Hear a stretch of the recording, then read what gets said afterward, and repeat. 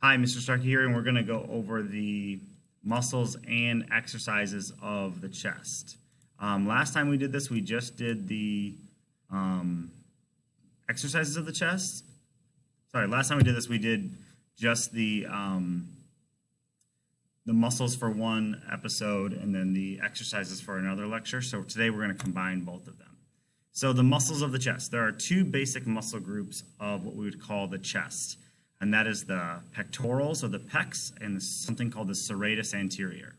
And there are um, something that we call synergist muscles that work in conjunction with the chest. So it's very, very rare that you're going to do any kind of exercise where you exclusively work the pectoralis muscles, which are right here.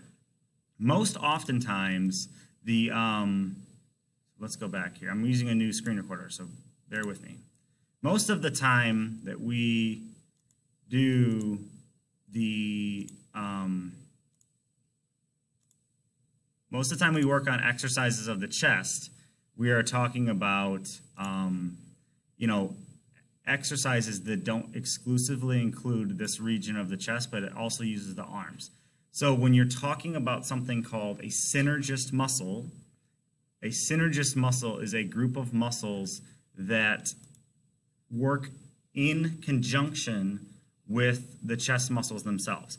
So, for example, we'll talk later that the exercise bench press is a, is a chest muscle exercise. But when you're using um, the bench press, you're also working your triceps, your lats, your deltoids, something called a coracobrachialis. So, truly, there are multiple different um, synergist muscles. So, a good way to remember synergist muscles is we should know this um, this word from what we call, you know, in, you might hear the word synergy. So like someone who works together, good partnership. Sometimes there's companies named Synergy, and that means that something's working together. Synergize, I think, was from Leader in Me. So synergist muscles are the ones that work in conjunction with the chest muscles. So the pecs are typically something that's a little bit of a joke because for other than for show purposes, the, the pecs don't have a ton of functionality within movement of the body. Their main purpose is they're the most front-facing part of the of the of a bare chest. You guess you'd say for males, that's a big priority for them. But other than that, um, the the chest, the pecs themselves, don't have a lot of purpose in our functionality. And even though we typically think of pecs as being something that's more of like a female, um, a female, or sorry, we usually think of pecs being a male muscle. In fact, females do have pecs. And again, I don't I apologize for having to show people without clothes on, but when we're talking about looking at these muscles, having a full shirt on wouldn't give you all the picture. So this woman here is very in shape. She's not overly muscular. And this line here you can see kind of created in the armpit is part of the pectoralis muscles, the pectoralis group. So even though um, we don't think of women always having pecs, they sure they sure do. Okay, so moving on. So the purpose of the pectoral muscles is what's called horizontal adduction. So the main purpose that these muscles do is to start out in a long position and because you're coming towards the midline, you adduct towards the midline. But because it's going on the transverse plane, we would call this horizontal adduction, horizontal adduction. And there's two muscles that do this. We have the pectoralis major and the pectoralis minor. Um, if we watch this person doing a very common exercise, dumbbell bench press, we will see that his it's right about from the bottom to halfway up, his arms are very much out to the side. So he's doing this horizontal abduction with the upper arm. Even though eventually he locks his arms out, the pecs really only involved in this bottom part of this action which is why we talked about those synergist muscles.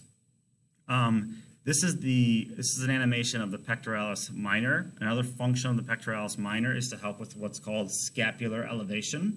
So it does help with the horizontal adduction coming towards the midline on the transverse plane, but it also helps with elevation of the scapula. That's the pectoralis minor. And here's a drawing of the two muscles um, kind of reflected away. So on the left here, we have underneath the pectoralis major, which is the one you would see on the surface of the skin, the pectoralis minor is very small and it's underneath um, the pectoralis major. So this drawing is basically as if they cut that away and then um, you could see the pectoralis minor underneath. Okay, the next muscle that's part of the muscles of the chest is something called the serratus anterior. So this is one that I've had students really struggle to understand. You will not often see these muscles called the serratus anterior from the skin side because we're just usually we don't have that that low of a body fat percentage. But in this model here, and then obviously in the drawing, we can see these little almost look like teeth of a knife. That's interesting because the word serrated comes from a jagged edge. Okay, so like this knife right here, like a, commonly we would think of maybe like a bread knife or a steak knife, has these jagged, sharp teeth. That's called ser a serrated knife. So that's how I'm always good at remembering. I can always remember this ser serratus anterior, is it has this synonym with the words serratus and serrated edge. Okay, but the purpose of the serratus anterior is also for bringing that shoulder into horizontal adduction, or what they call sometimes lateral rotation, horizontal rotation, medial rotation, but either way, it's very similar to that of the pectoralis major. Okay, so those of you had my class before probably recognize this poster. and ultimately, we're using these posters as a guide for how to create these lessons. Of course, I'm going into much deeper detail than you would see on the poster itself, but we're going to go over each of these exercises and how they relate to these muscles. So fundamental exercise number one is the um, bench press. So the bench press obviously works the pecs, so the pectorals, but it also works the deltoids, the triceps, and the serratus anterior. These are the synergist muscles to the, the, the, the muscles of the chest. So bench press is probably the most commonly performed exercise in American weight rooms, and for many, many different reasons. We can talk about it at a different time. But ultimately, the bench press is also um, something that, that can be very beneficial to overall strength. So when we're doing the bench press, we can have two positions with our elbows. If we have our elbows perfectly in line with the bar, we can get more of this horizontal adduction, which will help with developing the pectorals, but it puts a lot of strain on the shoulders and it decreases the amount of um, amount of power we can put into the bar. So we want something a little bit lower, almost like we're starting to create a triangle between our two arms okay, and our spine. So this, this graphic here is suggesting something around 75 degrees. And the more you bring your elbows into your sides, the less stress it puts on your pecs and the more stress it puts on your triceps. That may help you lift more weight, but if you're looking to develop the pectorals, this is uh, something between the two of these is more idealistic. Um, and the other thing we have to talk about with the bench press, which is not commonly discussed, and we certainly don't talk about this with newcomers, is that the bar doesn't go straight up and down. So in this um, graphic here, they show three different what they call bar paths. So if we look at the bar from the side, it comes down fairly straight on this red one, and it goes up fairly straight. And if we look at a very advanced lifter over here in the green, it comes down in a curved um, motion, and then it comes back up in a curved motion back up. And this is very common for elite uh, weightlifters to do. And so the point of this is that the more horizontal deflection um, coming towards the bottom of, of your chest, the more development it, it creates on uh, the musculature of the chest. Okay, fundamental exercise number two is incline bench press. Really, this is exactly the same exercise in terms of the muscles that it works. And the only difference is you're on a 45 degree inclined plane.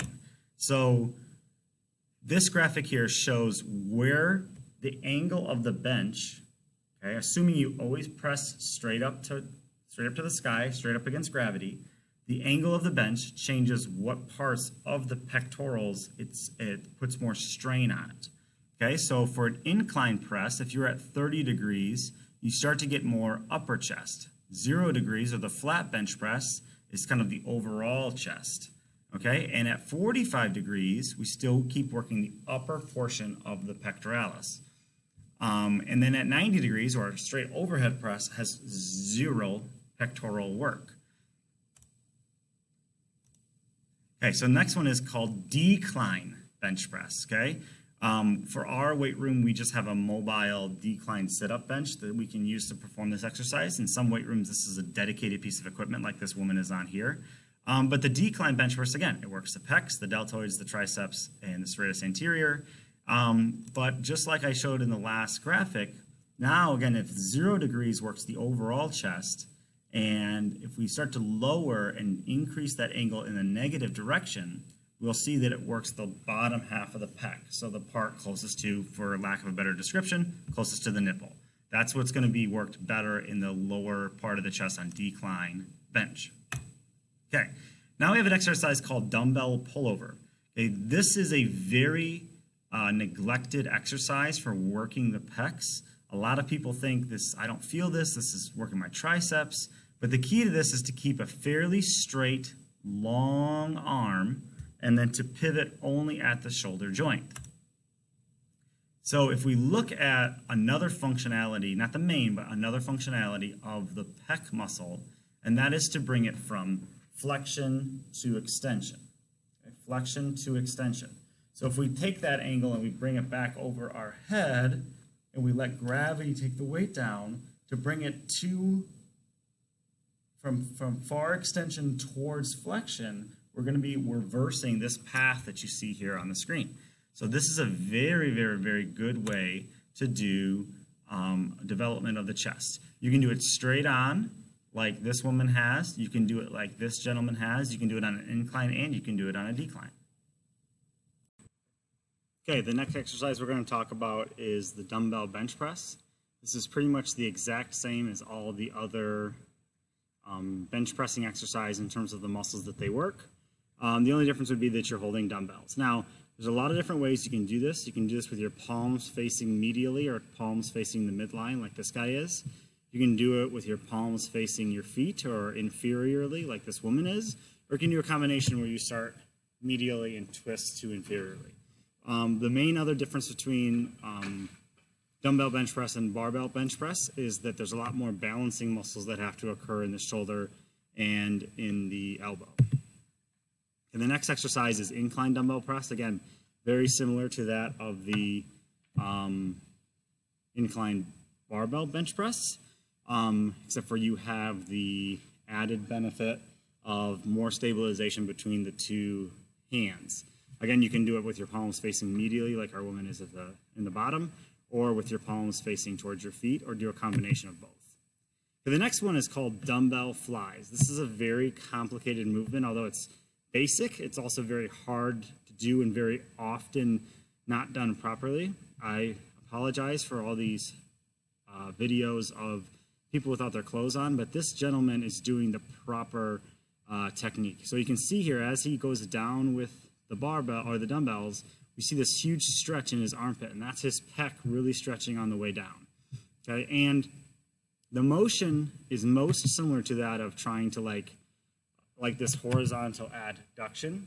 And I would say in a perfect world, it'd be like you're trying to go around and hug a tree. Okay, like the action to try to hug a tree, you wouldn't go like this to hug a tree like a press. You'd have your arms bent and you'd try to reach around. So that is the general action of a fly. Um, again, you can change your hand position a little bit, but this horizontal adduction. So flies kind of become the default best exercise for the pecs because they do exactly the same motion. Okay, uh, next is incline dumbbell flies. They're very similar to flat dumbbell flies, except for you're on an incline. And that's our last chest exercise for today.